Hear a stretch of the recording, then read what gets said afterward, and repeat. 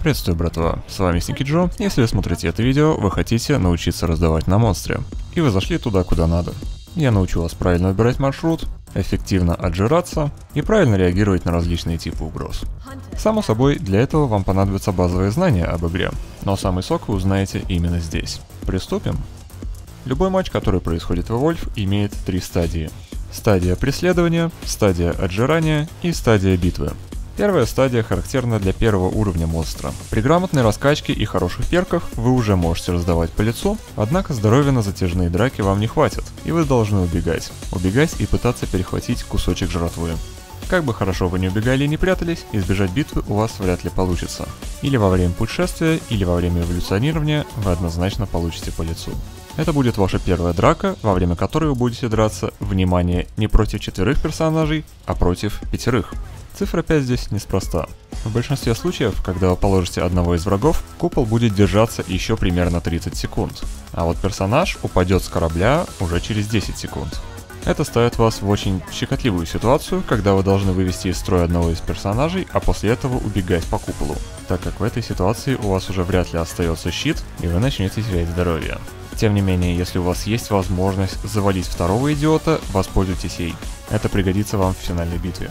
Каждый упавший персонаж увеличивает время, через которое произойдет респаун, а также они накапливают страйки, которые уменьшают их количество хп. После того, как вы берете второй уровень, вы уже можете решать, драться вам или отжираться дальше. Наверняка вы уже столкнулись в бою с охотниками и можете решить, насколько же они могут быть опасны. И если вы не уверены в своих силах, то просто начинаете бегать и отжираться дальше. Ну уж а на третьем уровне вы обязаны их разобрать. Теперь, как же вам дожить до третьего уровня? На первом уровне вы максите одну способность, которая позволит вам наносить урон, и берете один уровень способности, которая позволит вам быстро перемещаться или замедлить врагов. У каждого монстра свои способности, и если вы хотите более подробного разбора каждого монстра, пишите в комментариях, я сделаю по ним отдельное видео. Далее вы берете перки, которые соответствуют вашему стилю игры, и начинается погоня. И первое. Никогда, никогда не начинайте убегать в центр карты. Вы хотите бегать по периметру. Останавливайтесь на пожрать только на короткие промежутки времени. Если увидите большое количество бесплатного мяса или большого зверя, нет смысла гнаться за ними, потому что охотники у вас на хвосте, и они собираются оторвать вам лицо. Помните, что вы шумите очень сильно и вас видно издалека. Постоянно нюхайте и осматривайтесь назад. Думайте головой, иногда имеет смысл применить хитрость. Пока охотники бегут по прямой, они не могут вас догнать. Поэтому они будут вынуждены срезать расстояние.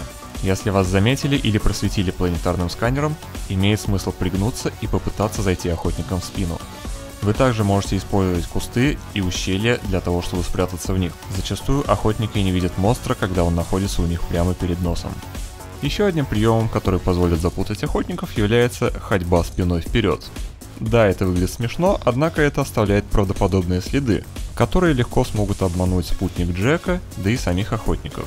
Если у вас есть подозрение о том, что скоро ваше местоположение будет просканировано, имеет смысл несколько секунд пройтись спиной назад, чтобы смутить охотников и дать им неправильное представление о том, куда вы направились. Если вам приходится драться, не затягивайте это дело. Купол кончится тем быстрее, чем больше урона вы нанесете охотникам и чем больше урона вы примете сами. В бою вы можете выбрать цель с самым маленьким количеством здоровья и щитов, чтобы уменьшить время купола, или цель, которую вы хотите ослабить для финальной битвы. Помните, что если ваш враг упадет на землю два раза, то его больше нельзя будет поднять во время драки, и он сможет респауниться только с корабля. Мои предпочитаемые цели — это медик, как персонаж, который поддерживает команду на плаву. Его и легче всего убить. А также ассалт, который наносит три четверти урона команды. Именно эти двое действуют мне на нервы больше всего, именно поэтому я предпочитаю их. У вас могут быть приоритеты другие. Во время битвы старайтесь отделить интересующего вас персонажа от других. В таком случае по нему будет легче попадать, и союзники не смогут прикрыть его своими тушками. Как только вы выполнили цель, ради которой вы дрались, и если вы не получили слишком много урона, рекомендую ретироваться. Также стоит сказать о том, как и где вам стоит эволюционировать. Вы должны убедиться, что охотник или находится на расстоянии 1 трети карты от вас, или спрятаться в неприметный угол после сканирования. Ну и конечно же имеет смысл эволюционировать после того, как только что закончился замес куполя, потому что тогда вас не смогут зажать, пока у вас нет брони. Также имеет смысл делать эволюцию как можно ближе к краю карты, потому что если вас все-таки зажмут, то битва будет происходить в тесном пространстве. Ну и конечно же центр купола устанавливается по координатам монстра. Помните, что тесное пространство – это ваш козырь. Однако, в большинстве случаев, если вы прокачиваетесь до третьего уровня и идете ломать силовое реле, тесного пространства будете лишены. У охотников будет достаточно места для маневрирования и разделения. Поэтому рекомендуется использовать особенности местности и забить одного из охотников в угол, для того, чтобы он не смог выбраться. Удары монстра уменьшают мобильность охотника и не позволяют ему взлететь наверх. Поэтому именно в углу вы можете избавиться от этого охотника раз и навсегда. Имейте в виду, что перед последней битвой охотники предпримут меры подготовки. Они расставят турели, генераторы щитов и мины. Поэтому обращайте внимание на то, где вы деретесь.